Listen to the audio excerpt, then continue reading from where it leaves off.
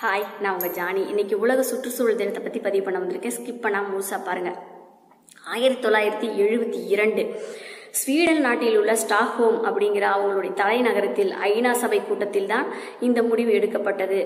என்ன முடிவு? ஜூன் ஐந்தாம் தேதி உலக சுற்றுச்சூழல் தினமாக அங்கீகரிக்கலாம் அப்படின்னு சொல்லி. காரணம் என்ன அப்படின்னா அடுத்த தலைமுறைக்கும் நம்முடைய காற்றையும் நீரையும் சிறப்பாக கொண்டு சேர்க்க வேண்டும் என்பதற்காக. ஆனால் நாமெல்லாம் அதை செஞ்சுக்கிட்டு இருக்கோமா அப்படின்னு பார்த்து இல்லவே இல்லை. யாருமே அதை செய்யவே இல்லை. காரணம் என்ன அப்படின்னா மிக முக்கியமானவர்கள் யாராவது ஒருத்தர் செஞ்சுக்கிட்டு இருக்காங்க. ஆனால் நாமெல்லாம் என்ன செஞ்சுட்டு இருக்கோம்? காற்றை பொல்யூஷன் பண்ணுறதுக்கு என்னென்ன செஞ்சுக்கிட்டு இருக்கணுமோ அதெல்லாம் தெளிவாக செஞ்சுட்டு இருக்கோம். சைக்கிள் ஓட்டுங்கடா உடம்புக்கு ஆரோக்கியம் அப்படின்னு சொன்னால் யாரும் கேட்கறதில்ல இங்கேருந்து கடத்தெருவுக்கு போகிறதுனா கூட நடந்து போங்கடா உடம்புக்கு நல்லது அப்படின்னா அதையும் கேட்கறதில்ல பைக் எடுத்துகிட்டு தான் போகணும் பைக் எடுத்து தான் வரணும். அதுக்கும் ஒரு சைரன் வைக்கிறாங்க பாருங்கள் அது அப்படியே மனுஷனுக்கு எல்லாத்துக்கும் கோவம் வரும். அந்த மாதிரி ஒரு சைரன் வைக்கிறாங்க. அடுத்து தண்ணி. தண்ணியை பாதுகாப்பு பண்ணுறாங்களான்னா ஒருத்தருமே கிடையாது. தண்ணியை பாதுகாப்பு பண்ணுறதுக்கு ஒருத்தரும் கிடையாது. அது மட்டும் இல்லாமல் அதை அழுக்கு பண்ணுறதுக்கு லட்சம் பேர் இருக்கான். அது மட்டும் இல்லாமல் தண்ணியை பாட்டில் தான் நம்மெல்லாம் வாங்கி குடிச்சிட்ருக்கோம் மொதல் ஆரம்பத்தில் கிணத்து தண்ணியை எடுத்து குடித்தோம் அதுக்கு முன்னாடி ஆற்று தண்ணியை குடித்தோம் அதுக்கப்புறம் டேங்க்கில் ரொப்பி வச்சு பைப்பில் குடிச்சு குடித்தோம் இப்போ பாட்டில் தண்ணியை குடிச்சிக்கிட்டு இருக்கோம். அடுத்த தலைமுறைக்கு எதில் குடிப்பாங்க அப்படின்னே தெரியாது. ஆனால் அதை பற்றியெல்லாம் கவலை இல்லாமல் இன்றைய வாழ்க்கை என்ன அப்படின்னு வாழ்ந்து வாழ்ந்து போயிட்டே இருக்காங்க ஒவ்வொருத்தரும். அது மாதிரி இருக்கிறவங்கள தனி ஒருவன்கள் மிக்க முக்கிய மிக முக்கியமானவர்கள் இவர்களை பற்றி தான் பதிவு பண்ண வந்திருக்கேன். ராஜேஷ் அவர்கள். அவர் வந்து என்ன செஞ்சுக்கிட்டு இருக்கார் அப்படின்னா காரக்குடியிலிருந்து ஒரு பரீட்சை எழுதுறதுக்காக அதாவது ஐ ஐஇஎல்டிஎஸ் அப்படிங்கிற ஒரு பரீட்சை எழுதுறதுக்காக சென்னைக்கு வந்திருக்கிறார் குரோம்பேட்டைக்கு.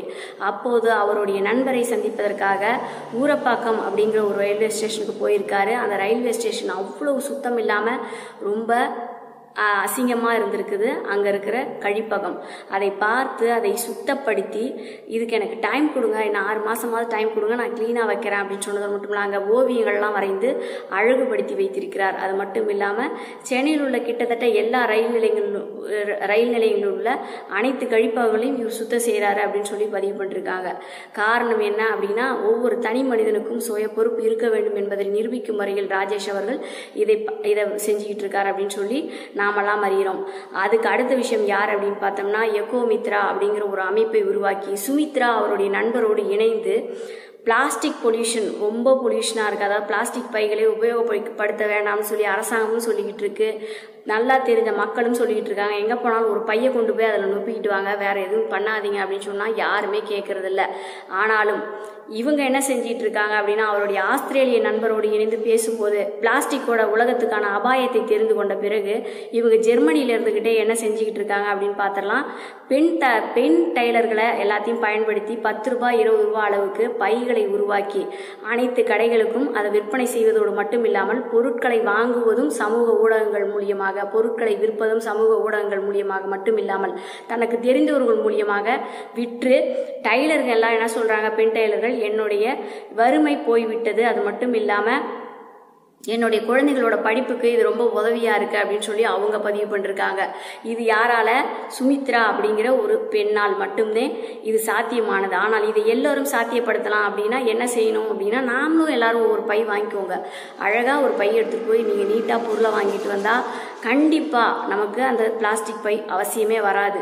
அதற்கு அடுத்த விஷயம் என்ன அப்படின்னு பார்த்தோம்னா ஜெயபிரகாஷ் அவர்கள் கேரளாவை சேர்ந்தவர். இவர் என்ன செஞ்சிருக்கார் அப்படின்னு பார்த்தோம்னா இவர் ஒரு அடுப்பை உருவாக்கி இருக்கிறார் என்ன மாதிரி அடுப்பு அப்படின்னு பார்த்தோம்னா நாற்பது கிலோ அரிசியை வேக வைக்கிறதுக்கு கிட்டத்தட்ட எழுபத்தஞ்சி தேங்காய் ஓடுகள் போதும் அப்படின்னு சொல்கிறாரு எழுபத்தஞ்சு ரூபாய் மதிப்பிலான தேங்காய் ஓடுகள் போதும். அந்த நாற்பத்தஞ்சு கிலோ அரிசியை வேக வச்சிடலாம் அப்படின்னு சொல்கிறாரு ஆனால் கேஸ் சிலிண்டர் மூலியமா நம்ம அந்த சாப்பாட்டை எவ்வளோ நேரம் ஆகும் பார்த்தோம்னா நாலாயிரம் ரூபாய் செலவாகுது எல்பிஜி சிலிண்டரில்.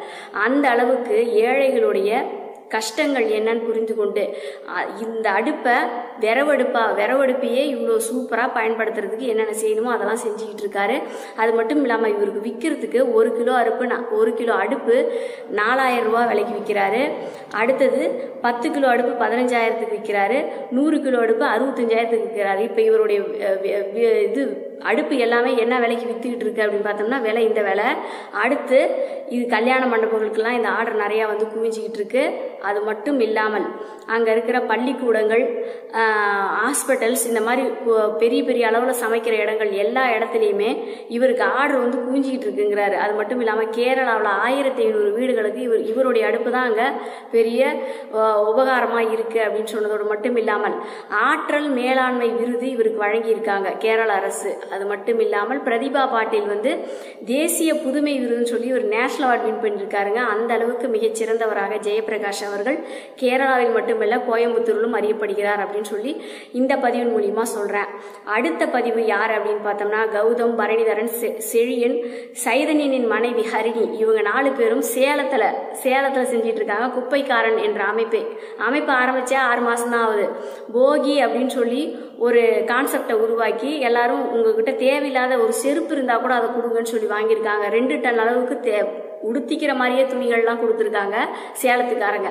அது மட்டும் இல்லாமல் ஒரு டன் அளவுக்கு அதை கழிவுகள் வந்து வாங்கி திருப்பி அதை திருப்பி டி ரீபொல்யூஷன் அதை கரெக்ட் பண்ணி ரீசர்க்குலேஷன் பண்ணி அதை வந்து உபயோகப்படுத்துகிற மாதிரி எல்லாம் பண்ணியிருக்காங்க. அது மட்டும் இல்லாமல் குப்பைகளை பிரித்து கொடுத்தா அதை வந்து விலை கொடுத்து வாங்குறாங்க. விலை திருப்பி நம்ம சேலத்து கார்பரேஷன்லேருந்து குப்பையை விலை கொடுத்து வாங்குறாங்க.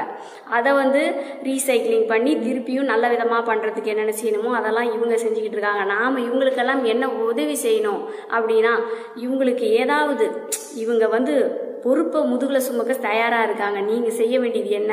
பிளாஸ்டிக் கழிவுகளை பிரித்து வச்சு கொடுங்க குப்பைக்காரங்க கிட்ட அது மட்டும் இல்லாமல் பிளாஸ்டிக் வந்து அதிகமாக உபயோகப்படுத்தாதீங்க. அது சுற்றுச்சூழலுக்கு மிக மிக பெரிய பாதிப்பு. நம்முடைய நிலத்தடி நீர் பிளாஸ்டிக்கால தான் பாதிக்கிச்சு பாதிச்சுக்கிட்டு வருது அப்படிங்கிறத முதல்ல சரியாக புரிஞ்சுக்குங்க.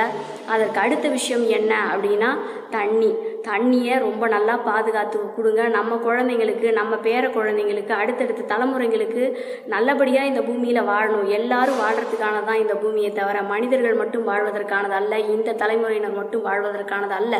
நாம் முப்பது வருஷமோ நாற்பது வருஷமோ வாழ்ந்துட்டு செத்து போயிடுவோம். ஆனால் அதற்கு பிறகு வரக்கூடிய தலைமுறையினர் நம்மளை எந்த சொல்லும் சொல்லக்கூடாது. பாரு இருந்தானுங்க நல்லா நிம்மதியாக இருந்துட்டு இவங்களாம் செத்து ஒழிஞ்சிட்டானுங்க நாமளே இப்படி சின்னப்பட்டுக்கிட்டு இருக்கோம் அப்படிங்கிற வார்த்தை நம்ம யாரும் சொல்லக்கூடாது. நாம் நம்முடைய தலைமுறைக்கு தேவையான சொத்து சேர்த்துறது மட்டும் இல்லை நீர் காற்று இதெல்லாம் சுத்தமாக வச்சு அவங்களுக்கு கொடுக்கணும் அப்படிங்கிற பதிவை நான் சொன்ன இந்த உலக சுற்றுச்சூழல் தின பதிவு பிடிச்சிருந்தா குட்டீஸ் தமிழ் ஸ்டோரி சேனலுக்கு சப்ஸ்கிரைப் பண்ணுங்கள் லைக் பண்ணுங்கள் ஷேர் பண்ணுங்கள் பாய்